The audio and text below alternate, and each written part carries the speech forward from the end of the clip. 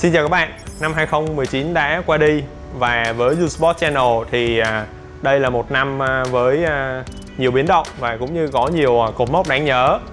và hãy cùng bọn mình nhìn lại chặng đường ấy trong video ngày hôm nay nhé.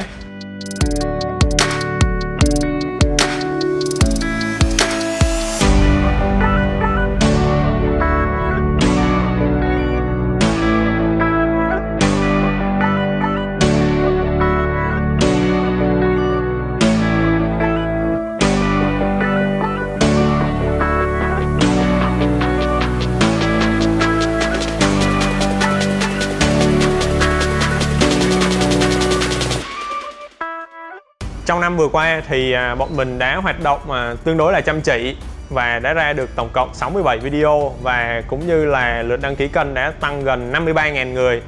Tụi mình à, thật sự cảm ơn các bạn rất nhiều vì các bạn đã quan tâm và ủng hộ cho YouSport Channel.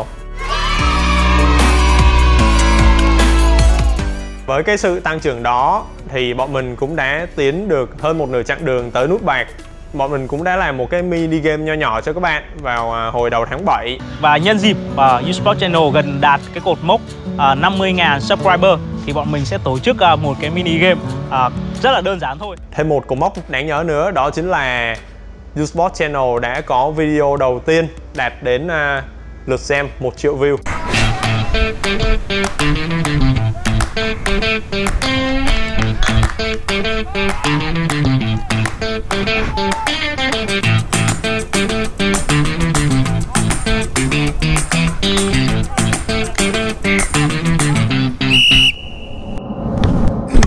những con số trên thì à, không phải là những con số quá to tát nhưng đối với tụi mình đó chính là một sự à, ghi nhận đến từ các bạn à, cho những nỗ lực và cố gắng của bọn mình trong năm vừa qua. Và trong thời gian này thì bọn mình cũng được à, liên hệ à, để hợp tác với một vài đơn vị và đó cũng là một niềm vui và cũng như là một à, động lực để tụi mình phát triển trong năm tới và chắc chắn là không có điều gì thuận lợi 100% cả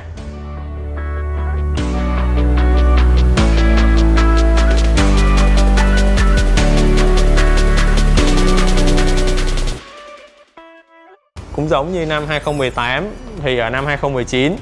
Usport Channel tiếp tục phải chia tay với một số thành viên rất quan trọng trong quá trình xây dựng ban đầu của kênh. Thật may là bọn mình cũng tìm được những người bạn đồng hành mới để có thể tiếp tục kết hợp với những nhân tố đã quá quen thuộc trong suốt gần 2 năm qua.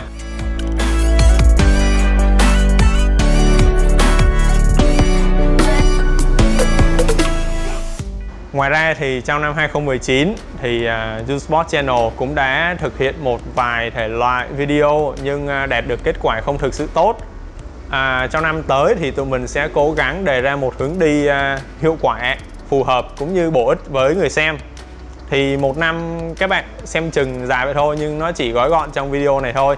Tụi mình à, cũng hy vọng các bạn tiếp tục đồng hành và ủng hộ tụi mình